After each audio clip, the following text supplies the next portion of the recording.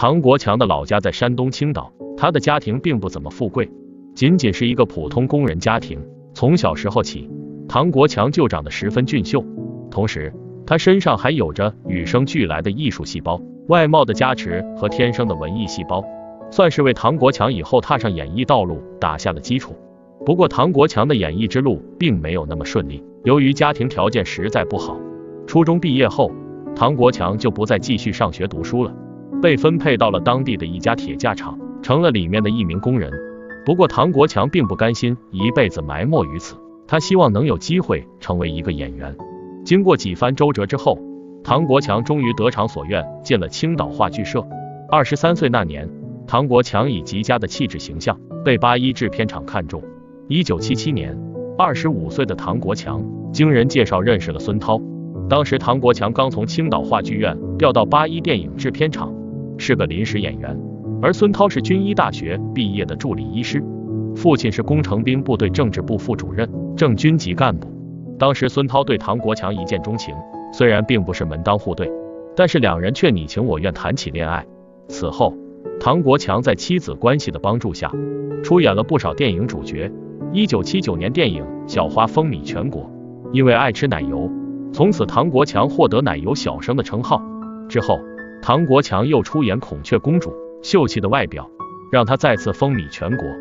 一九七九年，唐国强和孙涛举行了婚礼。一九八三年，唐国强更是凭借《高山下的花环》成为一线男演员，人气高涨。在一九八三年，两人生下了一个女儿。孙涛非常爱唐国强。一九八五年，《人才天地》杂志曾报道过他们的感情，是这样写的。下了班的孙涛会为了唐国强把饭菜热了又凉，凉了又热。唐国强每次练习书法都有孙涛铺好纸、磨好墨。为了让拍片回来的唐国强休息充分，家务事几乎都是孙涛包了。基本上唐国强说什么，他做什么。很快，这些事迹也传了出来，大家也给孙涛起了个外号“唐办主任”。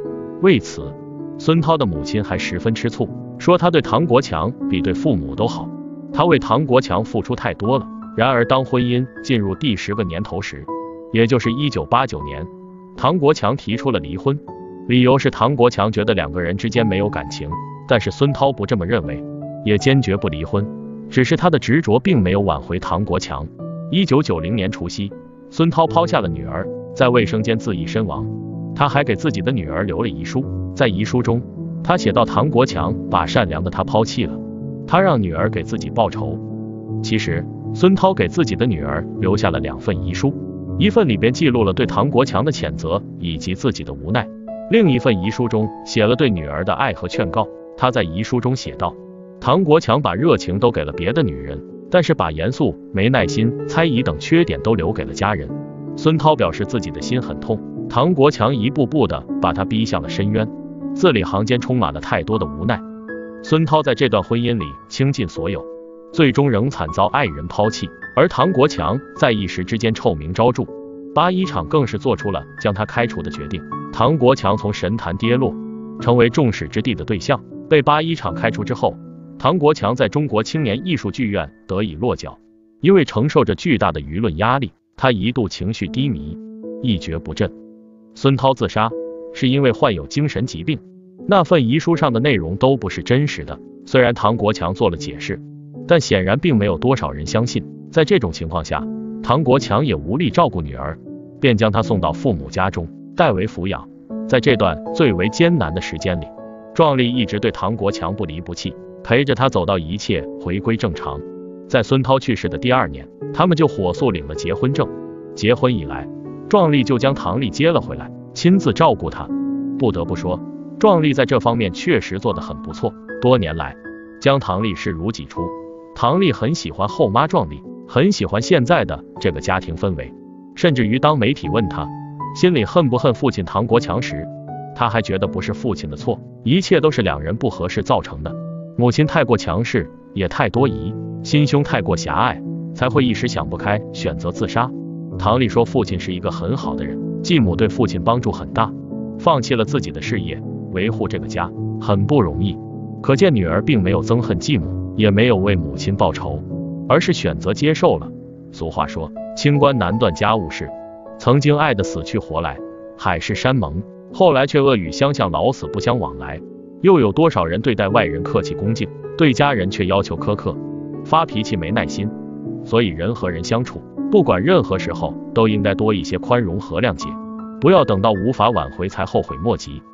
对于于孙涛留下的遗书，唐国强说，事情过去了十四年，遗书的真假难辨。